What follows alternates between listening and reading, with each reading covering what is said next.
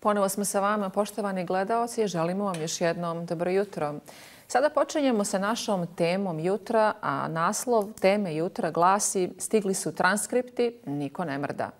Presretnuta komunikacija Miloša Medenice, sine nekadašnje predsjednice Vrhovnog suda Vesne Medenice, otvorila je na novo pitanje o povezanosti dijela policije, sudstva i bezbjednostnih službi sa sumnjivim poslovima šverca narkotika i cigareta. Sada se postavlja pitanje ko je u tim službama omogućio Milošu Medenici da napusti zemlju i zašto neko od tužilaca nije izdao nalog da se Vesna Medenica i njen sin ispitaju o ovom slučaju. Da li je ova afera samo vrh ledenog brijega? Upravo o tome ćemo pričati ovog jutra. A naši gosti na ovu temu su novinarka televizije Visti Jelena Jovanović. Dobro jutro. Novinarka nezavisnog dnevnika Visti na televiziji. Ispravit ću vas. Dobro jutro kolege vama i hvala na pozivu. Dobro jutro gledovacima TV prve. Član tužilačkog savjeta Andrej Milović. Dobro jutro i vama. Dobro jutro i vama. I poslanik Demokratskog fronta Jovan Vučurović. Dobro jutro. A putem Skype-a će nam se pridružiti malo kasnije i advokat Miroje Jovanović iz Novog Sada. Evo, gospođo Jovanović, da počnemo ovaj razgovor sa vama. Kao dugogodišnji novinar, vi ste pratili ste brojne afere kako u vezi sa policijom, tako i u vezi sa bezbjednostnim službama, švercom narkotika. Kakva su vaša saznanja i sumnje o povezanosti vrha službe bezbjednosti sa kriminalom? Ja mislim da, u stvari, ono o čemu i godinama pišem, jeste da sve češće isplivavaju dokazi da je dio e, uprave policije i dio bezbjednostnih službi, ne mislim samo na upravu policije kad na njih mislim, usko povezan sa e, članovima članovima organizovanih kriminalnih grupa i to ne samo ove dvije koje se najčešće pominju u Crnoj Gori e, Kavačkom i Škaljarskom kriminalnom grupom, nego i raznim drugim grupama o kojima više niko ni ne priča, a to su one dvije čuvene koje Crnu Goru već godinama zabavljaju u jadu, Grand i Mojkovački klan njihove dvije kriminalne grupe. E, nijedna od tih grupa nije mogla stasati, e, ni stvoriti se, a pogotovo ne stasati bez podrške u e, sistemu, tako da ovaj posljednji slučaj samo je pokazatelj toga koliko na što sve možemo naići i, nažalost, pokazatelj lošeg rada bezbjednostnog sektora u naročito u prethodnom periodu, jer ja imam bojazan da nismo dobili putem međunarodne podrške ovu presretnutu komunikaciju da ništa od ovoga ne bi ni sad znali, a od kad smo je dobili, dva službenika uprave policije su uhapšena zbog e, povezanosti sa kriminalnim klanovima. Gospodine Miloviću, Europol je obavijestio državne organe o sadržaju komunikacije Miloša Medenice sa policajcem Darkom Lalovićem i moguće drugim učesnicima komunikaciju smo, o ovoj komunikaciji smo obavješteni nedavno, a u oktobru državni organi su dobili sve ove podatke. I vidimo da je šest mjeseci proteklo od vremena do kada smo mi saznali za ovo, Miloš Medenica je napustio zemlju. Dokad, e, ko je prvi u sistemu bezbjednosti, po vašem mišljenju, mogao dobiti ovu komunikaciju? Da li su to Odrita Nabazović, čelnici Nacionalne agencije za bezbjednost, specijalnog državnog tužilaštva i policije? Pa što se tiče e, prepiske koju je dostavio Europol, ja nemam informaciju jer tada nisam bio ni u sistemu, niti je to nadležnost Ministarstva pravde konkretno kada su Sky prepiske u pitanju. Možemo samo na bazi pretpostavke da se radi u tužilaštu. Na kraju krajeva i indicije koje imamo negdje govore da je ta prepiska tada uručena specijalnom državnom tužilaštvu i da se ona nalazila kod zamjenika glavnog specijalnog tužioca. Tako da, zašto se nije reagovalo, to vam je identično kao i u slučaju Marović, kada je dozvoljeno Svetozaru Maroviću da napusti državu i da sada je nedostupan organima Crne Gore. To se desilo i sa Draganom Kovačevićem, direktorom uprave za nekretnine. To se desilo sada i sa E, Milošem Medenicom, tako da ništa novo za Crnu Goru. To je dokaz da sistem ne funkcioniše dobro i da sistem treba mijenjati i mislim da promjene u tužilaštvu kojima je doprinio tužilački savjet jeste i neki početni korak da se nadamo da se to više neće dešavati i da ćemo imati pravovremenu reakciju svih organa, jer naši organi su do sada bili uspavani, reaguju tek kada počnu da pišu novinari i kad se javi nevladin sektor, tada se tek probude naši organi. Nastavit ćemo na tu temu. Gospodine Vučuroviću, da li je po vašem mišljenju nakon dobijenja ovih transkripta presretnutnih razgovora morao biti izdat hitan nalog e, da se sin Vesna Medenice uhapsi ispita kao i sama gospođa Medenica? Pa to je ono što smo i svi očekivali da tušilaštvo što prije reaguje. ovo gospodin Novo i sada je na njega su svi reflektori upereni i mislim da je on trebao što hitnije reaguje i prema ovome gospodinu Medenici i prema prema gospođi Medenici. Mislim da se prema njoj trebalo reagovati da je bilo prava i pravde i prije 15 godina, a ne sada kada je očigledno umješana i u ovo što radi što radi njen sin i što radi ovaj policajac koji je uhopšen također zbog čim se učešće u, u švercu e, narkotika. Dakle, e, očigledno je da se nešto dešava ovih posljednjih dana, a ono što se dešava posljednjih 30 godina je da Crna Gora nije imala institucije koje su mogle da odgovore borbi protiv kriminala i korupcije. Evo imali smo sad, ako počnemo nabrajam sve afere, Jelena vjerojatno bolje bolje bih mogla nabrojati, bolje i pisale o njima toliko, dakle, od onih afera sa italijanskim turistima, takozvanim turistima negdje iz 94. 5. godine koje su se završavale ubistvima visokih policijskih službenika, pa da završimo, evo, a to naravno nije konačno s ovim sada aferom vezano za za familiju Medenica, između toga ako počeo Limenku, Klap, e, Vardar i sve druge afere koje nijesu imale e, sudski epilog. Dakle, mi imamo, e, imali smo to jedno sudstvo, tužilaštvo, čitav u stvari pravosuđe koje je u stvari bilo u rukama i režima i mafije, a to je u nekih e, 90% slučajeva bilo potpuno isto i zato govorim više puta o Demokratskoj partiji socijalista i o njenom predsjedniku kao da li je to političko krilo mafije ili je država, ili je mafija, mafija imala državu u čitavom ovom periodu od nekih 25 godina i zato nam se sada ovo dešava i mi sad čekamo Europol, čekamo neke signale sa strane koji bi nam otkrili ove afere, a policija da hoće, kao što većina građana u Crnoj Gori zna šta se dešava vezano i za šverc narkotika i za šverc cigara i ko stoji iza svega toga, dakle, postoje razne indicije već godinama, policija da je htjela, tužilaštvo da je htjelo, moglo je odavno procesuirati E, ljude iz vrha režima, bilo da se radi o predsjedniku Crne Gore, bilo da se radi o njegovom bratu, bilo da se radi o Zoranu Lazoviću i svim tim ljudima koji se, nalaze, koji se nalaze u tom kriminalnom sistemu vezano za, prvenstveno za lidera Demokratske partije socijalista i za tu kriminalnu strukturu.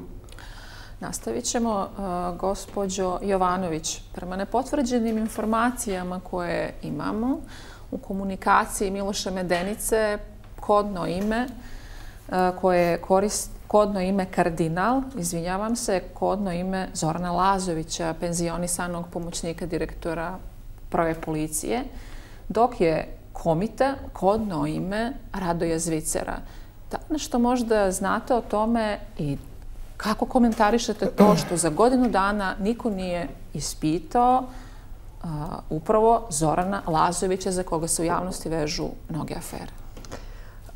Pa prvo mislim da vam taj prvi podatak, prvi, prvo tokodno ime nije, nije tačno.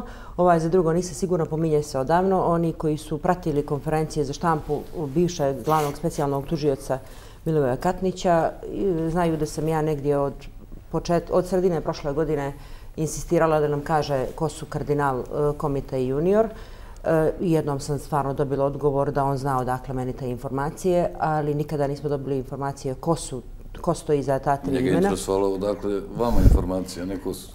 Pa dobro, ja ne krijem. Ovaj, I oni ljudi, mislim da ljudi koji iz sistema, koji daju istraživačkim novinarima i generalno novinarima ili neladim organizacijama i, i političkim partijama, kojima su bliski, koji daju informacije, rade, ja vjerujem da to rade iz najboljeg uvjerenja, da zaštite se na neki način, jer očigledno dok se nešto ne da, niko neće krenuti da radi. O, e, ne znam zbog čega, ako je bilo dokaza za njih nisu slušani, ali moram da vas podsjetim da mi živimo u, u državi u kojoj je čovjek kog hapse samo na predizbornim kampanjama i u emisijama uživo, e, Nikšićanin i Ole sugrađani, ne, ne bilo primijenjeno i Ole Branislav Mićunović oslobođen za ubistvo i onda se pitamo zašto nekoga pušta iz pritvora jer zaborave da mu produže pritvor ili nekoga ne se slušaju.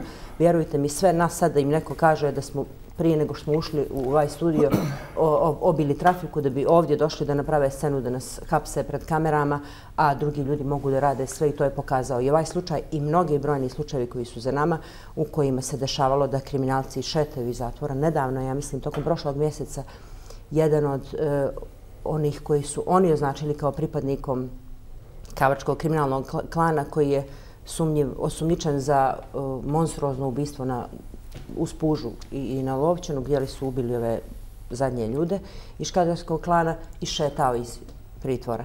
Tako da mi možemo samo da se nadamo da će ovdje neko uvesti nekog specijalnog tužioca i uvesti policajce sa strane. Ja ne znam da li to zakonski je moguće jer mi ne možemo da gatamo jer se obično posle nekoliko mjeseci ispostavi da su svi oni jer su 30 godina u sistemu, na neki način povezani sa ljudima koje bi trebali da procesuiraju i ja ne vjerujem da bilo ko od njih ima lične hrabrosti da pokuca na vrata bilo kog od tih ljudi koje ste pomenuli ili e, bilo kog kriminalca koji je sve vrijeme e, predstavljao se kao neko ko radi za državu, u stvari je radio samo za svoju korist i za korist klanova kojima je blizak. Tako da ja stvarno očekujem ili da očekujem čudo ili da uvezemo ljude koji će da hapse sve te koje ste pobrojali i ostale mnoge druge. Samo ću vam postaviti još jedno malo pod pitanje. Rekli ste da prvo kodno ime nije tačno. Zorana Zato što sumnjam, ne sumnjam, nego prema mojim informacijama kardinal je koristio jedan drugi pripadnik u prve policije. Dobro. A zašto je objavljena samo ova prepiska?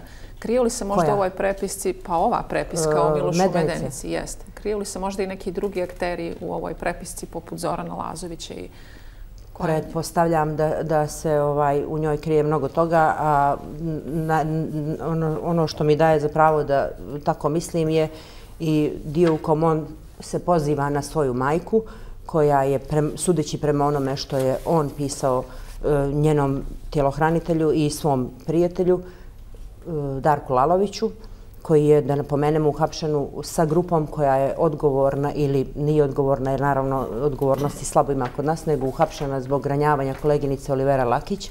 Tako da nijedna od tih stvari koje se njima stavlja na teret za sad na bazi e, osnovane sumnje nije mala stvar i ono što on može da ispriča i Darko Lalović isto koji je godinama e, bio uz predsjednicu Vrhovnog suda bivšu po skoro čitav dan kontakti koje je mogao da ostvari, oni naravno po nečijem nalogu, ne vjerujem da je baš Darko Lalović samo inicijativno javljao kriminalcima e, hoće li im biti odobren uslovni otpust ili neće. I ono što me čudi najviše od svega toga je zašto neko od sudija ili koga su se već interesovali nije rekao ako nisu bili svi u tom lancu. Dobro, ovaj čovjek sad pita kad će optužnica ili kad će nešto, ali mislim da stvarno tu može mnogo toga da ispliva. Mogu li ja jedno samo možda pretpostavku da iznese možda i ovo što sve izlazi, možda je dio obračuna između ova dva klana koja je pomenula e, Jelena, koje smo zaboravili vezane s Grand i Mojkovački, možda i sam e, gospodin Lazović učestvovao u dijelom u objavljivanju ovih, e, nekako da se ovi tekstovi vide svjetlo dana, kako bi se obračunao sa dijelom Mojkovačkog klana kojem pripadaju i Medenica i sad već ko zna koja ekipa, rekao čisto na nivou pretpostavke, ajde i to pošto se u prošlosti dešavalo mnogo toga, očigledno e, ono što moramo konstatovati je da na gospodinu Novoviću, specijalnom državnom tuživicu, ostavljeno je teško i veoma nasljeđe. Dakle, evo, prije sam ga e, prozveo, ali da ne bude sad neko političko prozivanje, pritisak na njega, ali on prosto, e, oni, oni koji su bili prije njega su očigledno bili saradnici i mafije, saradnici i vrha države, tako da je na njemu i vidim da će da formira novi specijalni policijski tim, tako da je veliki posao, veliki posao stoji pred njim i vidit ćemo da li će biti na visini zadatka. Dodacimo se i tog dijela. Gospodine Miloviću, evo i gospođa Jovanović je pominjala taj dio. Vesna Medenica koja je skoro dvije decenije bila na čelu najviših pravosudnih e, institucija. Mnogi su govorili da čuva tajne bivšeg režima. Optužuje čak i da je spričala otvaranje mnogih istraga, kao što je, na primjer, afera Telekom, koja je dugo bila jedna od najpoznatijih. Vidjeli smo šta je prema ovim dostupnim transkriptima radio njen sin. Da li vi vidite nešto problematično u statusu i odgovornosti gospođe Medenice?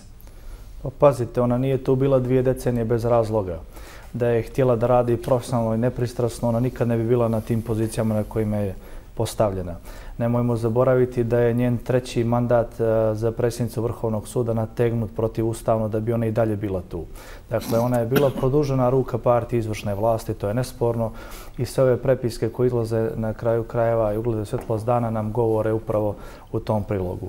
Ona je apsolutno kontrolisala pravosuđe u početku dok je bilo, to je bilo tužilaštvo, a kasnije i i sudstvo, tako da u tom sistemu niste mogli postati sudija, a da niste imali amin od, od nje i njenog okruženja. Bilo izolovanih slučajeva i ljudi koji su postali sudiji, ali to je više bio demokratski dekor da ispadne da ona sve ne kontroliše, a u stvari to je jedan vrlo kontrolisan proces. A, također, što se tiče stavova koje je recimo Vrhovni sud donosio, oni su bili pravni stavovi koji su zauzimali, su bili vrlo kontraverzni. Njima se mijenjala sudska praksa, pogrešno se tumačio zakona, sve u službi kako izvršne vlasti, tako i onih ljudi kojima je bila odgovorna. Na kraju krajeva, a nemojmo zaboraviti da je od države dobila jedan stan, pa je onda to prebacila na člana svoje, svoje porodice, pa je onda dobila još dva stambena kredita, odnosno za rešavanje i poboljšanje stambenih uslova. To su sve bili vidovi na koje je izvršna vlast korumpirala sudije i tužioce, da kažem korumpirala, i privoljavali ih da e, donose odluke u njihovu korist, tako da mene ovo ništa ne čudi. Ovo je potpuno očekivano. Ono što ja očekujem jeste da se što prije Eh, djeluje u pravcu Vesne Medenice, znači ne nikako ne smije se djelovati samo u smjeru sina, nego i tekako u njenom smjeru i najavljene istrage koje će se ticati imovine moraju također da dotaknu i njene imovine. Također ZKP daje mogućnost i privremene blokade kako nekretnina, umjetnina, bankovnih računa, to su sve mjere koje treba da, da se obrati pažnja na njih jer e, mislim da nije zgoreg ni to učiniti i jednostavno krenuti u taj proces. Jer u Crnoj Gori velika imovina e, brojnih funkcionera je prepisana članove porodice vama izvještaj koji podnosite o imovini godišnji se odnosi samo na supružnike i djecu, ali niko se ne pita, u stvari svi mi znamo koja je samo imovina na braću, sestre, roditelje, kumove, prijatelje, tako da nije dovoljno samo targetirati ona lica koja se pominju, već treba i širi krug jer imovina je često skrivena i na druga lica, a ne samo na one formalno pravno na koje je istraga usmjerena. Vrijeme je sada da uključimo i gospodina Miroja Jovanovića, advokata iz Novog Sada. Gospodine Jovanoviću, jeste li sa nama? Znam da jeste. Dobro jutro. Dobro jutro, tu sam. Evo, gospodine Jovanoviću, odličnog povoda da se uključite u polemiku. Milan Knežević je imao interesantnu opasku tokom jedne prilike o tome da je rad nekadašnjeg specijalnog državnog tužioca Milivoja Katnića bio takav da i kad se uhapsi krupna riba, on je poljubi pa pusti. Ko je pustio, po vašem mišljenju, Miloša Medenicu da se udalji od mogućnosti slobodne istrage? Milo Đukanović. Vrlo jednostavno. Dakle, da skratimo priču, ako se sećate uh, moje izjave kada je izreknuta izrečena takozvana presuda za takozvani državni udar 9. maja 2019. godine. Ja sam tada rekao isto jednu kratku stvar. Ovo nije presuda, ovo je politički pamflet braće Đukanović. Sve što se radilo i sve što se i dalje radi u Crnoj Gori ide uz blagoslov, dozvolu i punu saglasnost i organizacijonu logistiku porodice Đukanović. To je najbogatija politička, političarska porodica u Evropi poreklo njihovog kapitala e, nisu patenti, poreklo njihovog kapitala nisu Tesla vozila, niti su izmislili neke nove e, mlazne, e, motore na mlazni pogon i tome slično. Oni se, oni su šverceri. Dakle, da budemo potpuno otvoreni, Vesna Medenica, slažem se sa kolegom Milovićem, jer za svaki izbor, za svako napredovanje, za sve što se dešavalo, išao je blagoslov Vesne Medenice, a ona je imala blagoslov svog i tadašnjeg i sadašnjeg šefa. On je omogućio preko svojih poslušnika koji su i dalje u sistemu da stvar tako funkcioniše, da neko kome se u telefonu zateknu onakve poruke, e, bezbedno napusti državu e, i to je početak i kraj. Porodica Đukanović je početak i kraj problema u Crnoj Gori. Onoga momenta kada je sadašnji premijer Zdravko Krivokapić rekao da nema revanšizma, e, a niko nije ni tražio revanšizam, ljudi su tražili 30. augusta pravdu, tada je svima bilo jasno da e, će stvari nastaviti da se odvijaju onako kako su tekle decenijama ranije.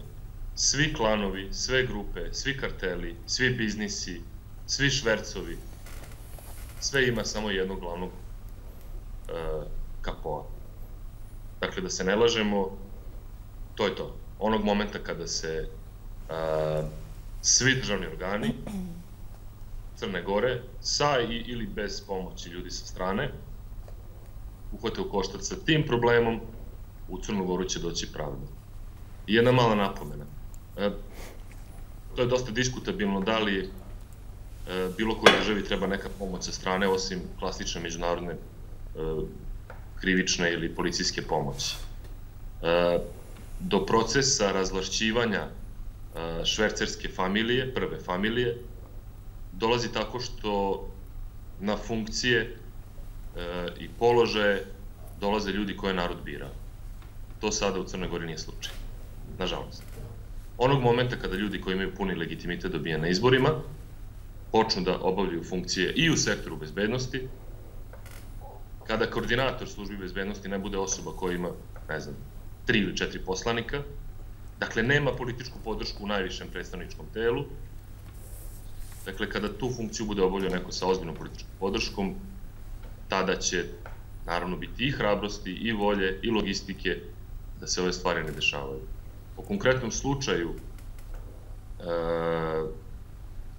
Medenica i tome slično ne treba zaista trošiti reči.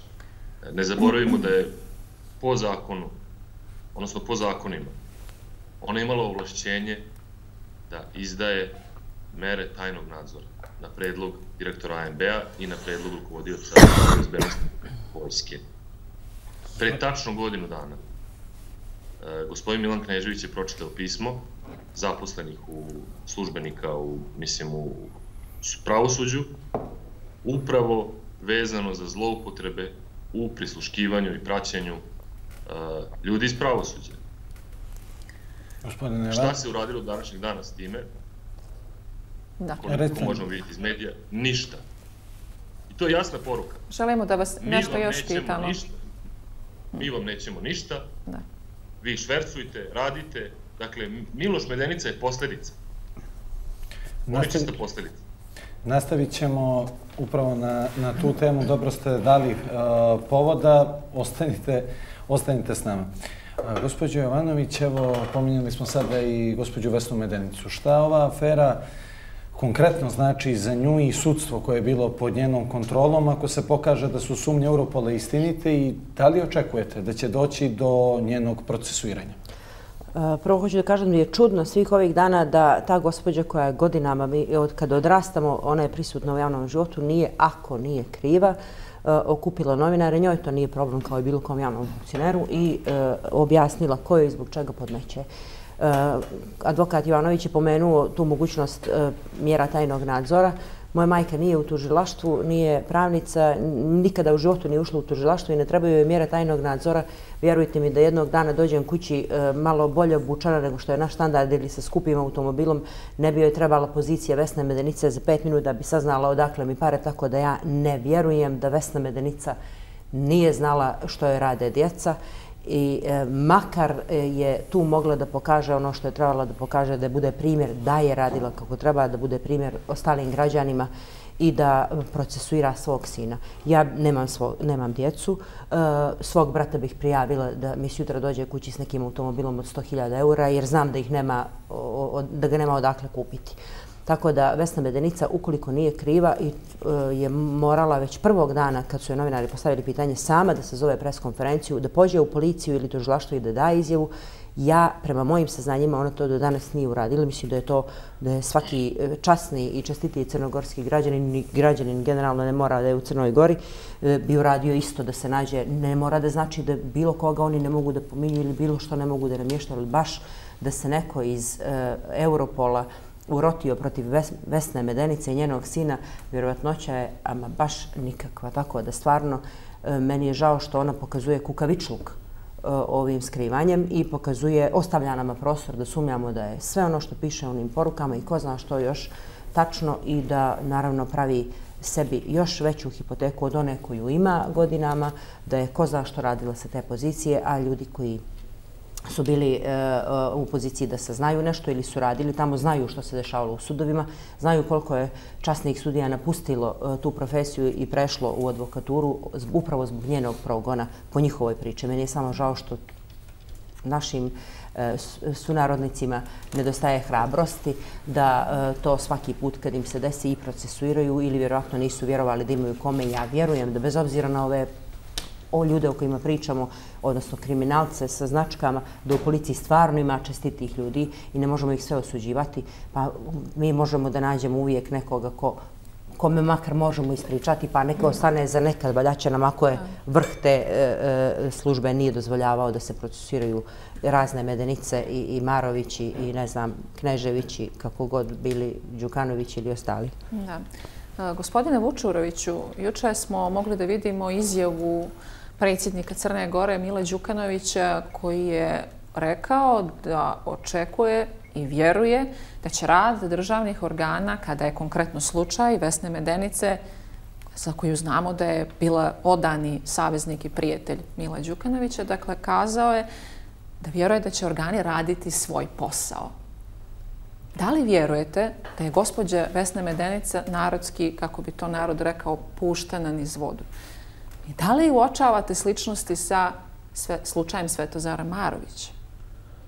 Pa ta izjava je tragikomična na više načina, posebno ono što Vesna Medenica pripada tom e, kartelu Demokratske partije socijalista, toj političko-kriminalnoj organizaciji, dakle, u kojoj su učeni i Katnić i svi ostali koji su služili e, Milu Đukanoviću svih ovih e, godina, tako da je to vrlo licemjerno i politički jedan kukaviču koji Đukanović pokazuje u produženom, rekao bih, trajanju, a posebno je pokazao juče kada je onaj njegov odnos prema Svetozaru Maroviću, kada on ponovo poziva državne organe Srbije da razmisle da li da se izruči Svetozar Marović ili da se preispita ovo što je stavljeno na tu crnu listu, s tim što tu se pokazuje licemjere međunarodne zajednice, zamislite, stavite Svetozara Marovića, koji je naravno zaslužio svim onim što je radio da bude na raznim crnim listama, a ne stavite šefove e, svega onoga što se dešavalo kriminala u Crnoj Gori, ne stavite, na primjer, e, Mila Đukanovića, e,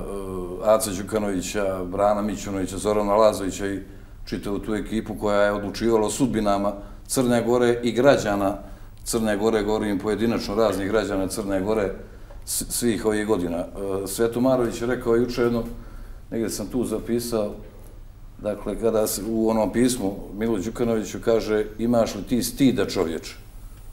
Dakle, to je, e, čini mi se ono što je obilježilo ovih, jedno rekao bih, nekoliko posljednjih dana, iako smo imali ovoga Medenicu i čitavu ovu priču, čini mi se baš da je to obilježilo ovih nekoliko dana, to je jedno pitanje, taj vapaj Svetozara Marović, imaš li ti stida čovječe? Naravno, Đukanović je spreman na sve i svašta, tako da pitanje stida, pitanje časti, njemu ništa, ništa ne znače. E, ali Svetozar Marović u onom pismu e, pomenuo makar četiri ili pet veoma važnih situacija i načeo neke afere.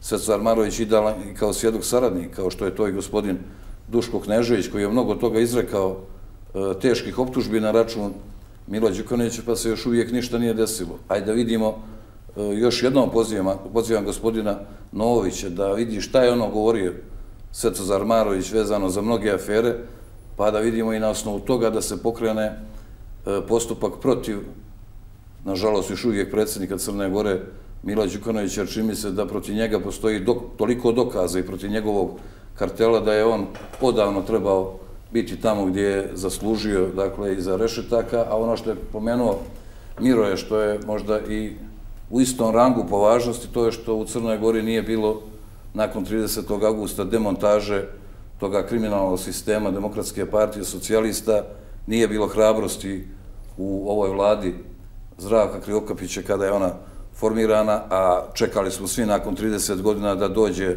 do pravde, da ruka pravde dođe do onih koji su e, bili na čelu kriminala svih tih godina, međutim, ništa se od toga nije desilo. Imali, imamo i toga gospodina Abazovića koji je koordinator svih službi bezbjednosti, koji je, koji je onako više radio na, na neku viku, na neki njegov šarm za koji on misli da ga ima i tako dalje. u ovom slučaju? Kako? Ima li on odgovornost u ovom slučaju? Pa mislim da je njegova odgovornost najveća upravo uh, Drita Nabazovića, koji je evo i mandatar, koga je Milo Đukanović postavio i za mandatara, ali evo da ne ulazimo sad političke teme, mislim da od te manjinske vlade neće biti ništa, ili će Drita Nabazović, Vladimir Joković i ostali pristati da budu e, dio ekipe s jutro manjinskoj vladi koju će podržavati ovakva jedna kriminalna struktura kakva je demokratska ili dio, makar vrh, demokratske partije socijalista. Meni je pravo da vam kažem, nakon svega što isplivava, potpuno nepojljivo da Drita Nabazović kao veliki borac protiv mafije pristane uopšte da bude dio nečega što će podržavati demokratska partija socijalista. Evo, ali da trošimo vrijeme negdje na manjinsku vladu, ali svakako ćemo pratiti i ta dešavanja. Gospodine Miloviću, zašto su građani Crne Gore osuđeni stalno da neka saznanja dobijaju pretežno od e, privatnih medija, što može, može značiti neku selektivnost, a ne od nezavisnih e, državnih organa? Da li građani Crne Gore zaslužuju takav tretman?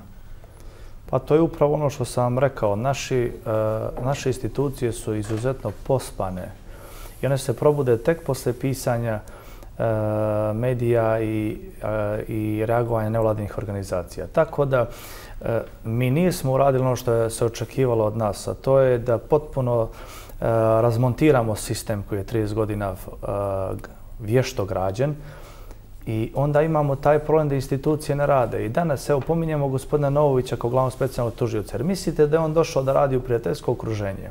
Mislite li da je institucija koju je gradio Milivoje Katnić i Saša Čađenović, da je to institucija uh, gdje se nalaze kadrovi koji su spremni sada se obračunavaju sa, sa organizovanim kriminalom i visokom korupcijom?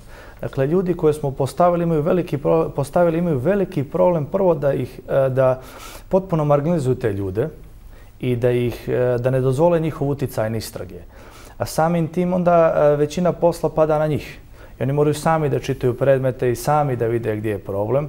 I zbog toga je veliki problem i u reagovanju državnih organa. Vi ne možete da očekujete pravovremene reakcije organa dok god mi ne napravimo reforme svih institucija i organa.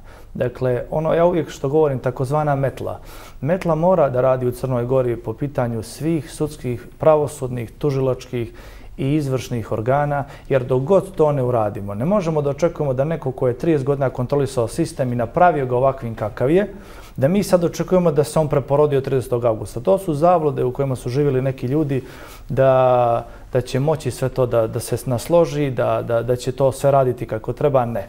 Nije samo problem do rukovodilaca, problem je po dubini. Znam kad sam došao u Ministarstvo pravde i manjinskih prava, To je ministarstvo koje očekivao sam da ću zateći neko novo ministarstvo, zatekao sam ono kao da sam došao do Bapažina, tako da jednu potpuno srozanu instituciju, e, srozan nivo komunikacije, centralizacija moći na pet ljudi i to pet ljudi iz starog, pet, šest ljudi iz starog sistema, tako da vjerujte, e, kogod hoće da se lati posla i da napravi ozbiljnu instituciju, on mora da pravi jake rezove. Ništa bez toga ne može doprinijeti, jer konstantno ćemo imati situacije da se hapsi po preskonferencija, da nevladine organizacije i mediji pišu, a da državni organi spavaju. Evo vidite sada, u ovoj situaciji u kojoj se desilo slučaj e, Vesne Medenice i njenog sina, automatski je trebalo da bude pozvana makar svojstvo građanina da ona da iskaz da se vidi da li ima možda elemenata da se izvrši e, zadržavanje 72 sata, da se privremeno blokira kompletna imovina. Tako rade organi i tako bi radili organi u Njemačkoj, u Italiji, u Britaniji i u bilo kom uređenom sistemu. U Crnoj Gori vi prvo mora cijela država da se digne na noge jedno deset dana da bi onda imali prvu reakciju nekog zvaničnog organa. Kada ste pomenuli taj dio upravo u Sky komunikaciji se pominje ime bivšeg direktora policije Veselina Veljovića Koliko je policijski sudski generalno bezbjednostni aparat, po vašem mišljenju, upleten u šverc drogi i neke druge kriminalne aktivnosti? Pa pazite, nema organizovanog kriminala na nivou koji postoji u Crnoj Gori bez podrške i sistema.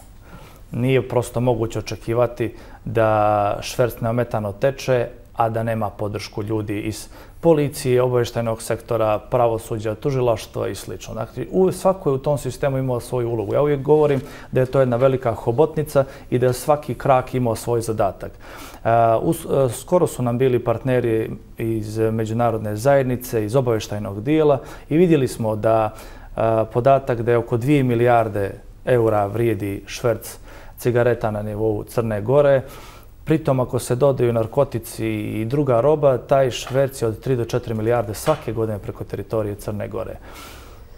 Nemojte očekivati da, da, da su na to bili imuni i visoki policijski funkcioneri, jer oni ne mogu dokazati drugačije kako su stekli svoju imovinu. Znate, ako imate platu od 1000 eura, 1000 i pa imate kuću od milion eura, onda nešto ipak ne štima i to ipak nešto govori.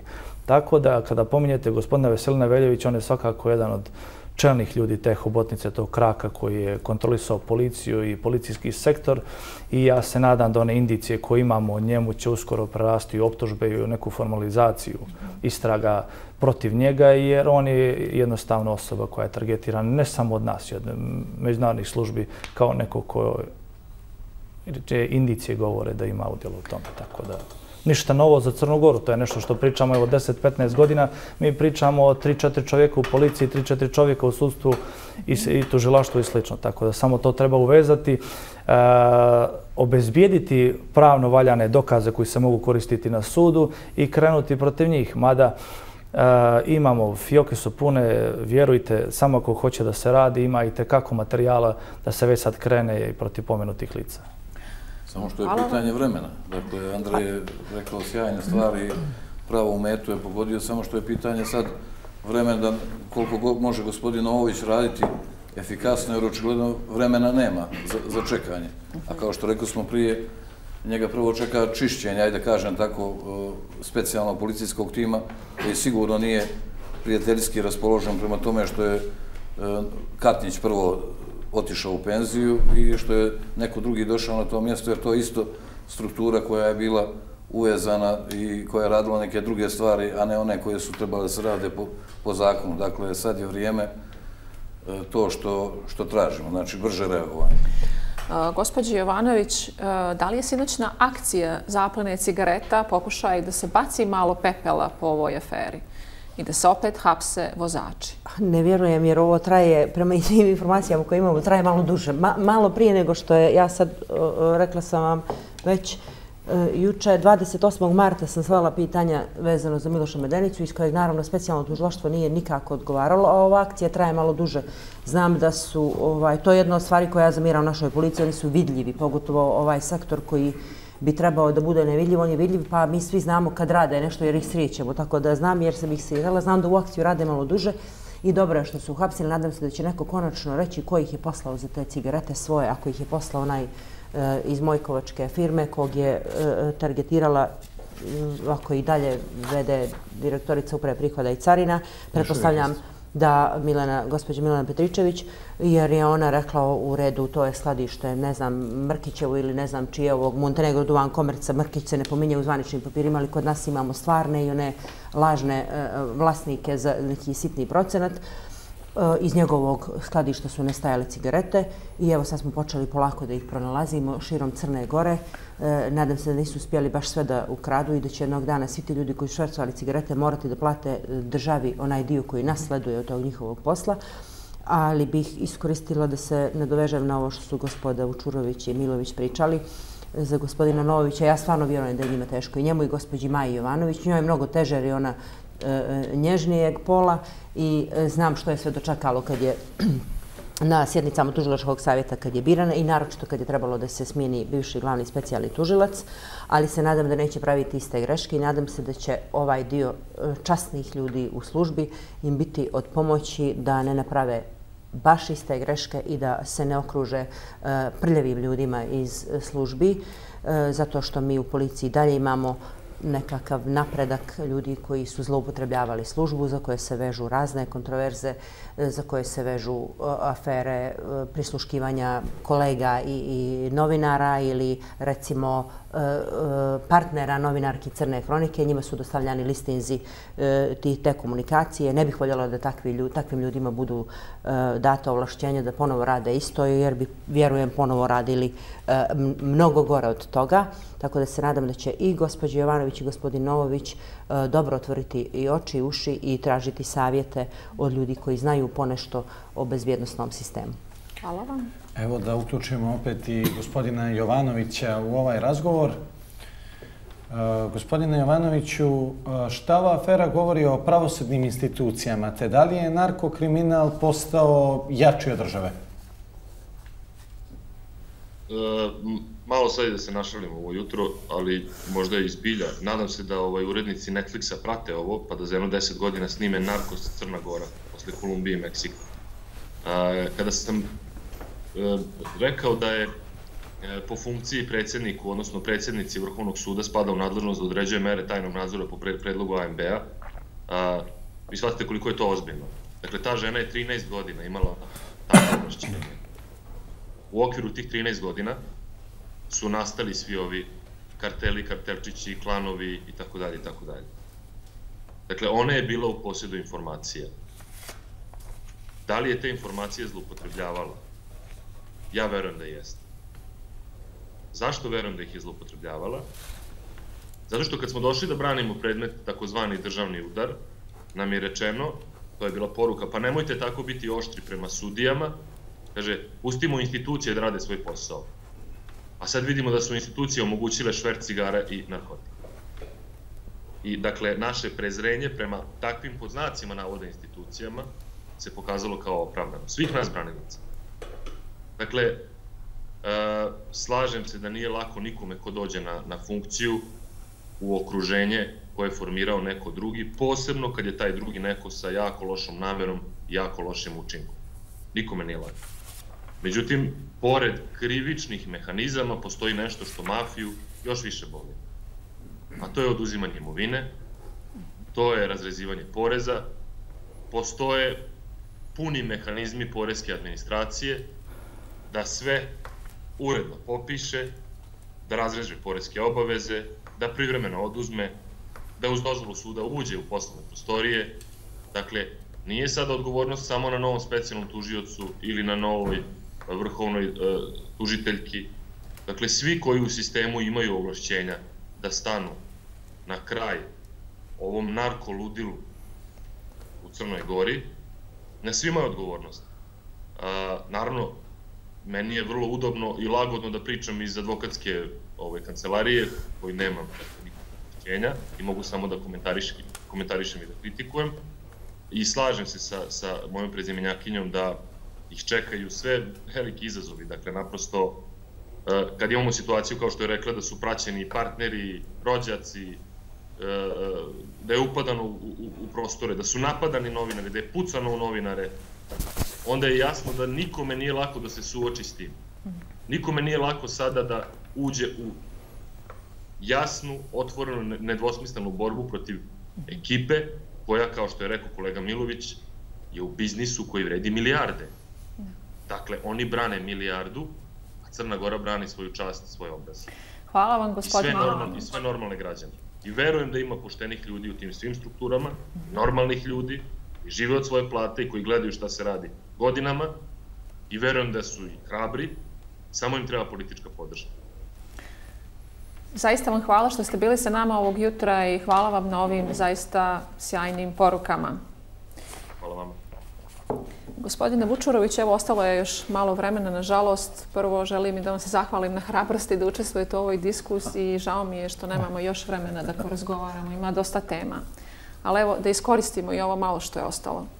Da li vjerujete da ima sada, trenutno u Crnoj Gori, tužilaca koji će sada, u ovom trenutku, danas, jutra, izdati nalog da se privede Vesna Medenica i pronađe njen sin?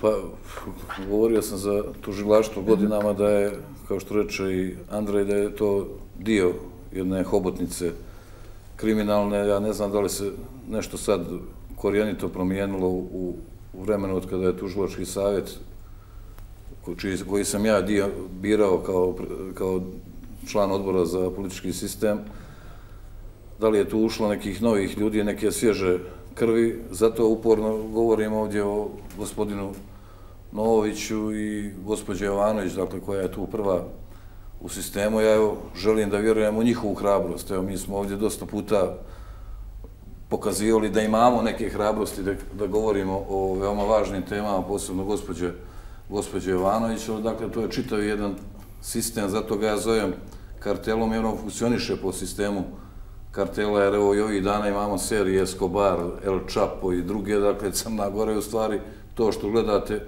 u, u tim serijama i u tim filmovima, dakle, nije samo tužilaštvo, prije pomenute agencije za sprečavanje korupcije, mi moramo da znamo da je koliko godini po dana nakon promjena agencija za sprečavanje korupcije potpuno netaknuta. Dakle, jedan veoma važna karika u sistemu u kojoj se i dalje nalaze ljudi iz te kriminalne hobotnice koji vode tu agenciju. Dakle, ne možete očekivati da sada neko od tih ljudi pita Milo Đukanovića za taj famozni sat, za, ta, za onu kuću, dakle, čujenu tamo, ne znam gdje se nalazi, za sve te stvari koje on ne može da opravda. Dakle, prosto potrebne su apsolutno korijenite e, promjene koje nijesu došle nakon 30.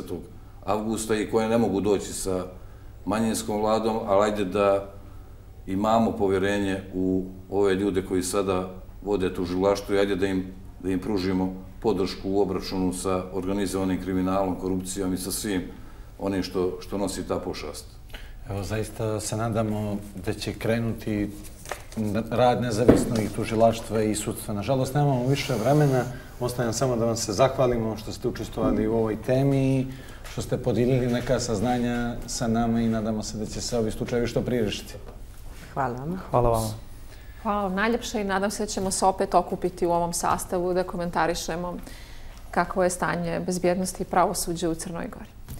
Evo, čuli ste poštovani gledalci i naše sagovornike, a mi ćemo sada preći na vijesti.